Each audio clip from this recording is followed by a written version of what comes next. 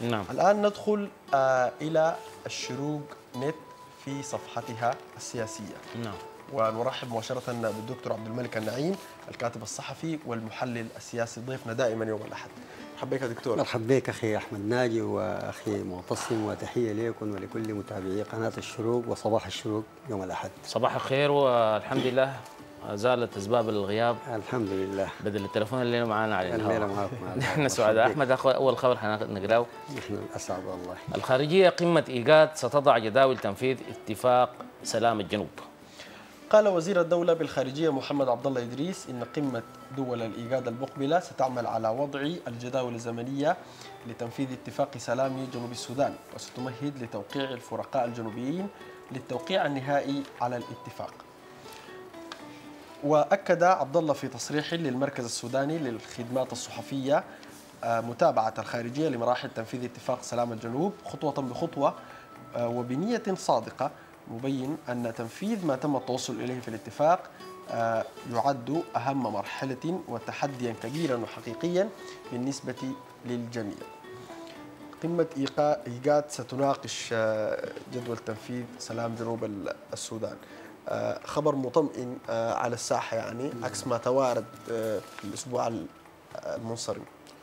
آه، بسم الله الرحمن الرحيم. لا بد من الإشارة إلى أنه قمة ايجاد نفسها زي آه، تعطلت لعدد من السنوات يعني.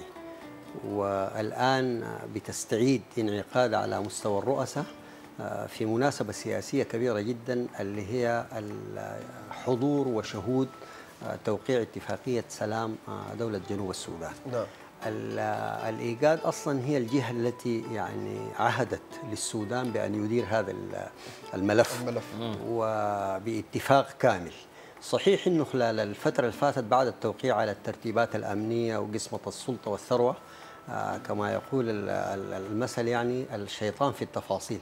نعم. فظهرت تفاصيل كثيرة جدا آه، من ضمنها مسألة نواب الرئيس ومهام ال- المجلس التشريعي عدد الحقائب الوزارية ال- الولايات وحدودها وصلاحياتها فدي كلها كانت آه، تعقيدات آه، لا بد إنه يقولوا فيها بعض ال- الكلمات ويصلوا فيها إلى بعض الاتفاقات في الخرطوم. لأنه ال- ال- الأطراف المعارضة كلها المشاركه لفقدان الثقة الكبيرة خلال الفترة الماضية مع الحكومة في دولة جنوب السودان ما كانت تريد أن تحول هذه التفاصيل إلى لقاءات أخرى نعم. كانت تريد أن تحسم في الخرطوم. بالأمر ونجح السودان آه، إلى حد كبير جدا الآن في أنه يقرب وجهات النظر ويقرب الشقة. وتابعنا يمكن الأسبوع الماضي أنه انضم للاتفاقية الذين كانوا يعارضون سواء كان دكتور رياك مشار ومجموعته أو مجموعة لامكولا وحتى مجموعة العشرة.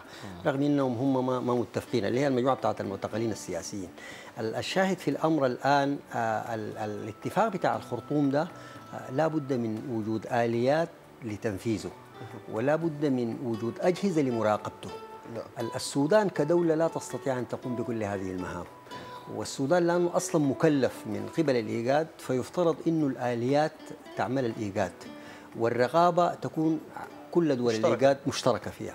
بالفهم ده آه، حضور ال- الإيجاد وحضور التوقيع ووجوده هو بيعطي الضوء الأخضر لأنه والله هي حتكون رقيبة على هذه المسألة. نحن نتمنى أنه آه، أخواننا في دولة الجنوب بعد ال- المسألة ما وصلت هذه المرحلة إنه ما يفرطوا ابدا لأنه الاتفاق ده ما جاء بالساهل والتجربة اللي عاشتها دولة الجنوب تجربة قاسية جدا لا بد أنه ينتقلوا منها إلى مربع آخر. والفرصة اللي أتيحت لهم الآن يلتقوا في السودان ما يقارب أكثر من شهرين ويجلسوا مع بعض. أذاب كثير جدا من الجمود والجليد الذي كان سائد. حتى العنصر بتاع فقدان الثقة الآن بدأ يعني لحد كبير جدا آه، يتلاشى. فمطلوب منهم يعني لا رقابة الإيجاد ولا دور السودان ولا دور الإيجاد لو ما كانوا هم. أكثر حرصا وأكثر تقاربا وأكثر قناعة بأهمية السلام كل المجهود ده يمكن أن يحقق فنتمنى إنه بعد التوقيع وحضور الإيجاد انه دولة الجنوب آه، تذهب إلى الاستقرار والأمن وده فيه استقرار لدول المنطقة ولمواطن الجنوب الذي الآن يعاني ال- الأمرين يعني. نعم. طيب أستاذ عبد الملك آه، حنمشي للخبر الثاني. الحكومة تعلن وضع خارطة طريق لتنفيذ الاتفاقيات مع تركيا. أعلنت الحكومة وضع خارطة الطريق لتنفيذ الاتفاقيات الاقتصادية بينها والحكومة التركية. وأوضح وزير المالية محمد عثمان الركابي أن خارطة الطريق وضع وضعت آلية لتنفيذ الاتفاقيات في الجوانب الاقتصادية والمالية والمصرفية والتجارية إلى جانب مشاريع الغاز النفط الزراعة الثروة الحيوانية والمعادن. وبحث الركابي في الخرطوم يوم السبت ونائب وزير التجارة التركي الفاتح متين الاتفاقات الاقتصادية الموقعة بين الطرفين بحضور وزير الدولة للمالية طارق شلبي وللتجارة الصادق محمد علي وفقا لبيان صادر عن الوزارة. عدد كبير جدا من الاتفاقيات في مجال التجارة والاستثمار والاقتصاد موقعة بين السودان وتركيا. ولعلنا نذكر آه، زيارة آه، رجب طيب أردوغان نعم. للسودان. وما تمخض عنها بعد ذاك بزيارة لوفود فنية. يعني في مجال الاستثمار وبمختلف آه، أوجهه حتى ذهبت إلى بور سودان والعمل في المواني وكذا ال ال الآن في وفد آه، تركي فيه 40 من ال- الرسميين العاملين في مجال الاستثمار كحكومة وفيه عشرة من القطاع ال- ال- الخاص. برضو آه، من شركات كبيرة جدا. أنا أشعر أنه ال- ال- وضع الآليات دي تأخر كثير جدا. كان يمكن الاستفادة من الزمن طيلة الفترة الماضية. لكن برضو آه، نرجع السبب ال- الرصفاء عندما يجلسوا مع بعضهم بيكون في كثير جدا من القضايا يود أن يحسموها نتمنى أنه بهذه آه، آه، ت- توقيع الاتفاقيات يرى النور على أرض الواقع. الآن الإمكانيات في السودان موجودة متوفرة. آه، سواء كان من ناحية آه، أراضي سواء كان من ناحية مياه. الإمكانيات والخبرات والميكنة والتقانة موجودة في تركيا. الإرادة السياسية في البلدين آه، قوية جدا في هذا الاتجاه. فالبلدين حيستفيدوا من مثل هذه الشراكات ال- الاقتصادية. فنتمنى أنه بقيام ال- الآليات بتاعة التنفيذ أنه هذه الاتفاقيات ترى النور ويجني ثمار ال- ال- الشعب الشعبين. نعم في الدولتين. نعم. في نفس ال- السياق خبر آخر الكهرباء تبحث مع وفد تركي تطوير وتأهيل الشبكة القومية. بحثت وزارة الموارد المائية والري والكهرباء ووفد تركي برئاسة نائب وزير التجارة الفاتح متين بحثا التعاون في مجالات بناء محطات توليد الكهرباء وتصنيع وبناء معدات خطوط نقل الكهرباء والمحطات التحويلية بهدف إكمال البنية التحتية للشبكة القومية للكهرباء والتصدير إلى دول الجوار. وطرح وزير الموارد المائية والكهرباء معتز موسى خلال الاجتماع الذي عقد السبت بالخرطوم طرح رؤية البلاد وميزات موقعها الجغرافي ومواردها لتكون مركزا إقليميا في إفريقيا لتصنيع مدخلات الكهرباء بالتعاون مع تركيا التي عرفت بخبرتها وجودة منتجاتها في المجال حسب المعايير الأوروبية وذلك وفقا لوكالة السودان للأنباء.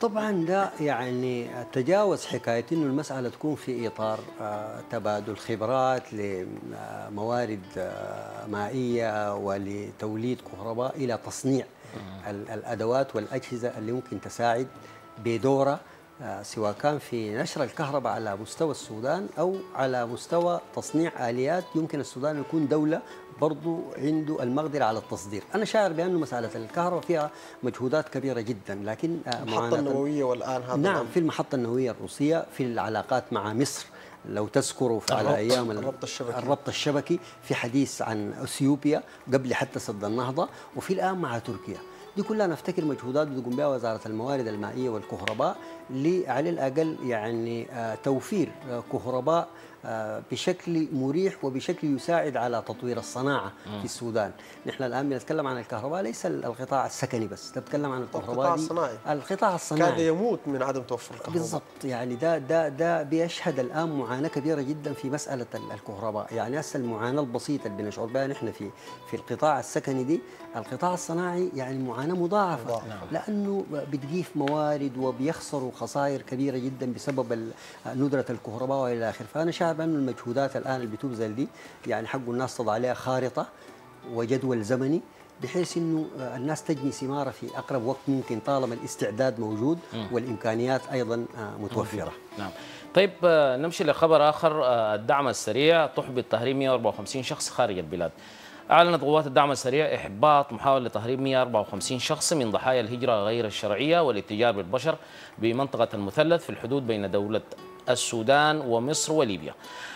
وتم نقل المهرب المهربين إلى معسكر الجيل بالخرطوم وقال مدير دائرة التوجيه والخدمات بقوات الدعم السريع العقيد مرتضى عثمان وفقا لوكالة السودان للأنباء إن المهربين تحركوا من منطقة المالحة متجهين إلى ليبيا. وقال إن غالبية المراد تهريبهم تتراوح أعمارهم بين 22 و 26 سنة معظمهم سودانيون إلى جانب وجود جنسيات عربية بينهم. حقه نحن يعني نأكد على أنه أي زول بيهرب بيكون بمحض ارادته هو داير يمشي. بيفتش للوسيلة نعم. يعني المهربين ديل الآن هم بيعتبروا الوسائل اللي بتسهل للناس اللي عندهم الرغبة أساسا في ال- ال- التعريف؟ فدي أنا أفتكر حقه برضه نبدأ آه، يعني نعالج المسألة من جذورها يعني أنت يكون ليه ماشيين؟ أيوه يكون عندك إحصائيات اجتماعية كاملة جدا. إذا كان يتكلم عن سن عمرية يعني منتجة جدا 22 ل 26 22 سنة ده, ده, ده حتى الآن ما بدأ حياته ما بدأ، نعم. بشكل يعني عملي. نعم. يعني ده لا تستطيع انه يقول هو شهد معاناة حتى إنه فكر في الهجرة. لا ابدا. دي بتكون لاعتبارات كثيرة جدا ربما آخرين أغروا على هذه المسألة. فحقه نحن نجفف اولا المصادر بتاعه التهريب ده نفسه. الأمر الثاني حارب برضه الثقافة دي في الأول يعني. ننشر الثقافة دي. يعني أنت زول عمرك 22 سنة. يعني ماشي ليه؟ انت حتى الآن بتكون يا دوبك تخرجت من الجامعة أو, ولا- أو حتى الآن في الجامعة وكده فدي انت السن حقه تبدأ فيها حياتك العملية بشكل لأنه ديل ماشيين للمجهول. نعم. ودي دي مسألة خطيرة جدا. ده الجانب الأساسي جدا. تتعمل الدراسات الاجتماعية وتشوف السن العمرية بتاعت الناس دي تقرأ الخريطة الجغرافية بتاعت توزيعهم من أي المناطق مستوياتنا التعليمية بشكل كبير جدا بحيث إنها تقدر تجفف من عدد الراغبين أصلا في هذه الهجرة. بعد ذاك تمشي طوالي للمهربين. وديل ناس بيرتكبوا جرائم كبيرة جدا. وأنا أفتكر بطول المدة ال- ال- الأجهزة الأمنية بتاعتنا قدرت تحدد ال- ال- المواقع اللي بيتم منها التهريب وبالتالي يمكن أن تحدد الأشخاص سواء كانت داخل السودان ولا عن طريق آه، جهات خارج السودان. الأمر الثالث المراقبة بتاعت الحدود بشكل نعم. كبير، يعني الآن ال- ال- المنطقة اللي بتتكلم عنها دي أصلا منطقة ملتهبة، تتكلم عن ليبيا و مصر. ومصر شمالا. دي كلها مناطق ملتهبة، أنا أتمنى إنه هذه المجهودات تمشي إلى الأمام ونضبط حدودنا بالشكل الذي يمكن أن يحقق الأمن والاستقرار، لكن معالجة المشكلة من جذورها أنا في تقديري الأساس. هو أمر مهم جدا. نعم. شكرا جزيلا دكتور عبد الملك النعيم كتر خيرك على حضورك وعلى ما قدمته لنا من تحليلات. شكرا, شكرا لكم أحمد ناجي ومعتصم وشكرا للذين تابعونا. شكرا لك دكتور. وشكرا لكل اللي تابعونا في هذا الصباح.